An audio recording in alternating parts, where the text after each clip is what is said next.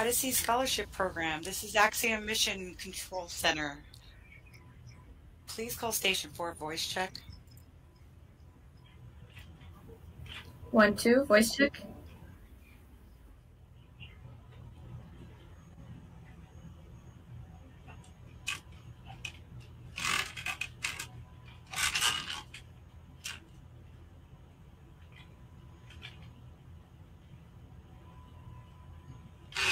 Oh, hi, Zara. Hi, John. How are you doing today? Yes, can you hear me? Good, good. Yes, ma'am. I sure can. Loud and clear.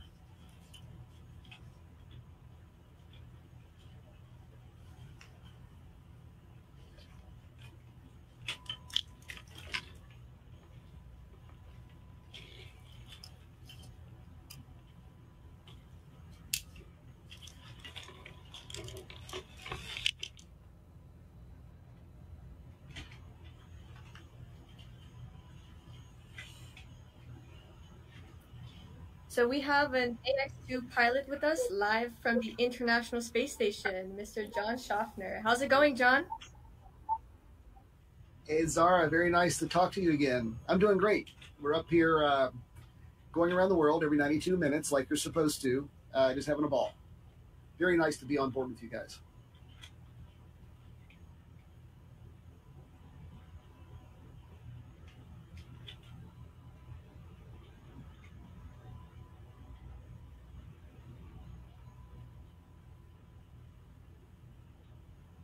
Can you hear me, Zara? Yes, we can hear you loud and clear. Uh, can you do a demonstration for us, John? Yeah, what would you like to see? We do lots of fun stuff up here, you know.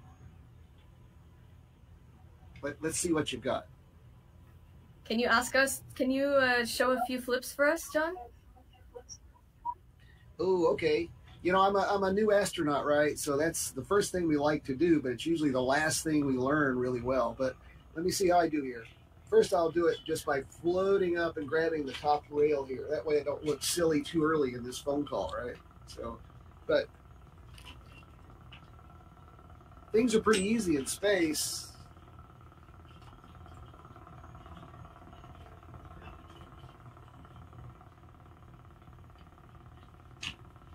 So that's always fun. You know, I can do a flip, there's a lot of stuff around here, and if I bang on it, somebody will yell at me. So, uh, actually, won't. Peg, Peggy's right over there. She keeps an eye on me.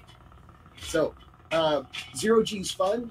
Uh, it can be challenging when you first come to orbit. You know, moving around. It takes very, very little effort to move around. You know, we can. I have a few things to show you that can demonstrate microgravity probably better than I can. If I go like this, then it just makes it worse. So we have to learn to be steady and calm and just stand still. That's how it works best.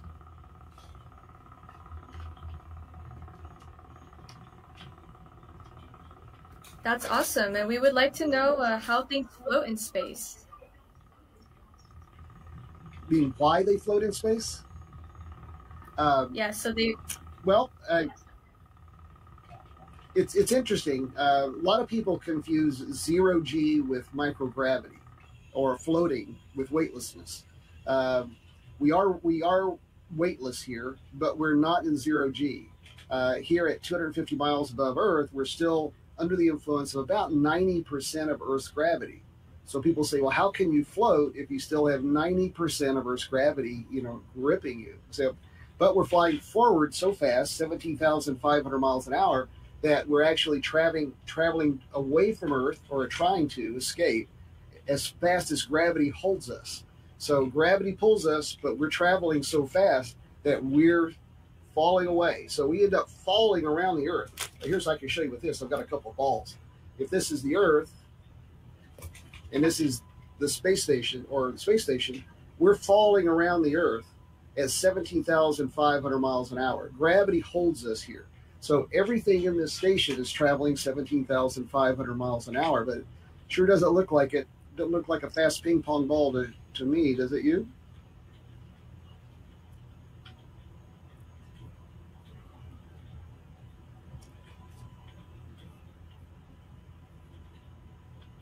that was such a treat. Thank you, John. our students are very eager to ask you some questions. Would that be okay? Yeah, you bet. Let me. Uh, I think they, I think somebody sent me your questions, um, just in case I can't hear them very well. Sure, go right ahead.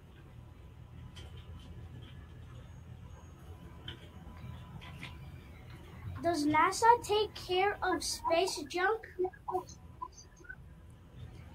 Well, everyone's concerned about space junk. It's kind of like the weather, but we're not doing a whole lot about it yet. We know it's there and a problem, so we try to keep our satellites and our rockets, you know, in one piece. And if something happens, we like to keep track of where they are. So for the moment, the way we take care of space junk is to keep track of it.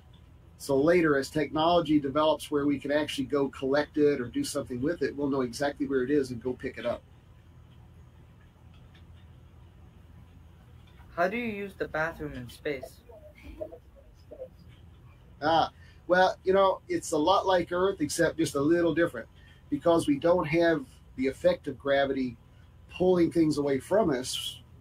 We have to have vacuum, suction. We use fans to do this. So we have a special potty that uh, when we go number one, it pulls it away through a hose and a funnel. And we go number two, well, we have to be creative. It goes in a little bag. We have to throw that away. So not very pretty, but if you want to be in space, you've got to put up with the messy stuff, right?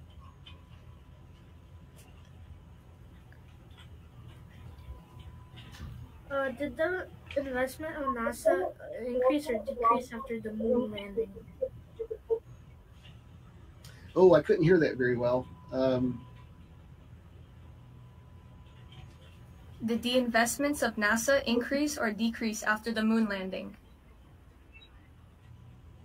Well, we're told that they decreased a little bit, uh, and that was uh, unfortunate for a little while, but NASA's back in full force now. They're working hard to take us back to the moon with the Artemis program. I'm sure you saw the first test launch, and now the first full crew of uh, Artemis has been assigned, and they're training for a flight, I believe, in uh, later next year. I, I think is the launch date. So we're going to put people, men and women, back on the moon here uh, in the next year or so. It'll be very exciting.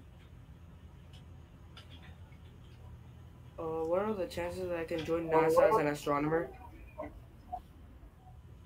Uh, very good, actually. Um, you know, there are so many careers in the STEM field, technology, engineering, math, sciences, that you can do if that's really what you're interested in. Sounds like you are because you said it.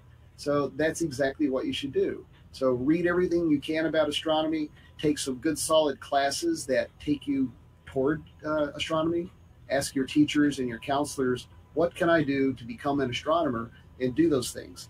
And then when you uh, are ready, uh, start applying to NASA. Look for the types of jobs that you want, and just keep applying, applying, applying until you get in, and you will.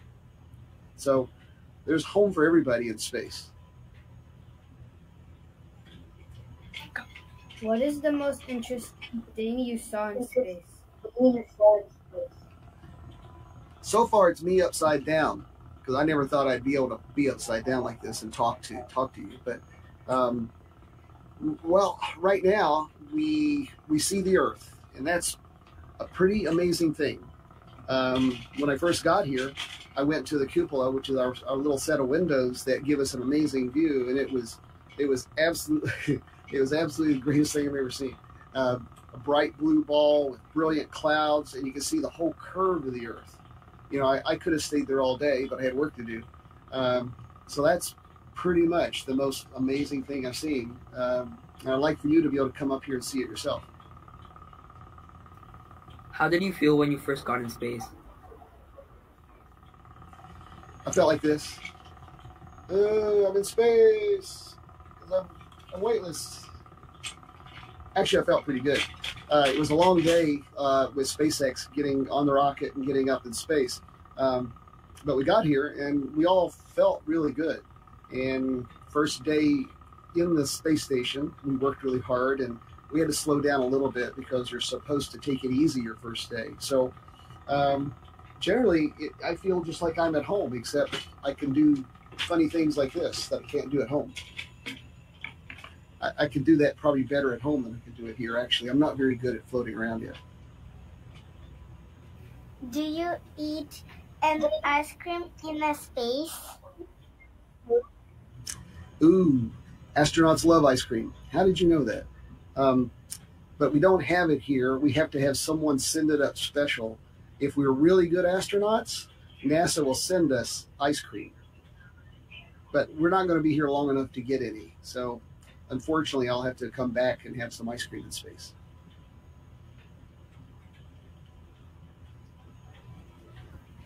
Is it difficult to sleep in a space? Mm, I haven't had any trouble at all, uh, except the first night was a lot of fun. I'll tell you about that. Uh, I'm sleeping in the Dragon capsule, the, uh, not the capsule, the Dragon spacecraft, um, in a sleeping bag. And I tied myself down to a spot and I was laying there nice and flat. But when I woke up the next morning, I was over here like this, kind of like, what happened? Um, so it's easy to sleep, but when you're asleep, you can roam around. So you have to tie yourself down really good. It was fun. I don't know where I'm going to end up tonight. Maybe over there, I think. That's a good spot. Um, to know how. What was the hardest part of, in training um, here, here to get to space? Like, what is the hardest thing to train? Like, Um, well, it's long. You know, that's that's the hard part. It's just long. It takes a long time. Uh, you have to study a lot, read a lot. Uh, that's not hard. It's just a lot of it. So hard is just deciding to do it. I think, and making yourself stay on it even when it gets hard, and you might want to stop. So, you know, it's challenging when you're doing something that's difficult uh, that you know very little about so you have to trust in the trainers. But uh, when you trust in the trainers, then it becomes pretty easy. So the hard part, the hard part was uh, going to bed at night because I was too excited to think about coming here. Actually, if that makes sense. When did you first go You guys into like it? space? when did I first go into space? Um, well, this is my first trip actually to space, and I'm not sure I want to leave. So I've been looking around for a place to hide, so that when they leave, they can't find me, and they'll have to come back and get me later. But I think they'll probably find me. And one final question, John. Our kids want to know how they can become like you in the future and go to space. Oh, that's an exciting question. Uh, I want them to become like they are, um, be the person that they want to be. But the best way to do that, to do both of those, is to uh, understand that whatever it is you think you are, that's what you are. If you uh, want to be an astronomer, you want to be an astronaut, you want to be a teacher, uh, then work hard to do that. That's how you become that person that you want to be. Um, so don't be what somebody else is or what somebody else wants to be, I think. Um, be the person you are. Decide for you what it is that is most important to you. And every day you do something to move you closer to that. That's how you become the person that you admire most yourself.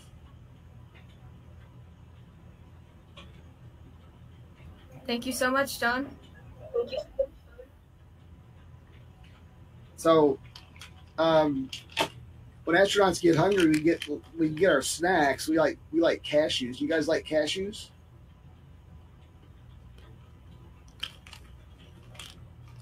No. I'm sure somebody there likes cashews.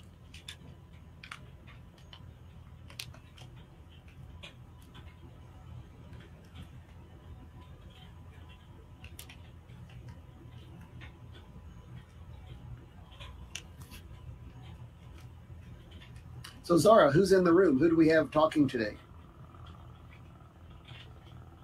So we have all of our students at our local school in Sunny Isles Beach, and they're all dreaming of becoming astronauts one day and you know following the same footsteps that you're following.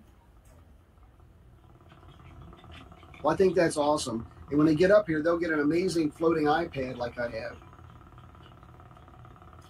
So you want to see a little demonstration on uh, how big objects and little objects interact in space? You, know, you can take a big Yes, object and a little object, and yeah, and you have energy in both. When you move them, you, you, you throw this one, you move this one at velocity, and it develops momentum. But the big object will always win. Eventually, the ping pong ball puts a little bit of energy in the big ball, where eventually it will start to move. That's momentum. Actually, it's Newton's law of motion, one of one of them that's called conservation momentum. So, uh, energy is always there; it just transferred. So your teachers can tell you tell you more about that. And even when you come to space, you can play ping pong with yourself in space.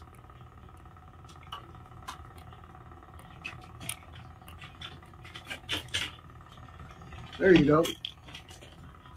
Ping pong in space. Now that'll make anybody want to be an astronaut, won't it?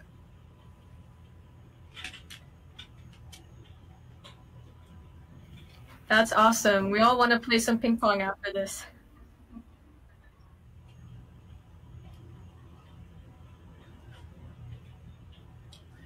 So, what else can I tell you about being in space? It's kind of fun up here, you know.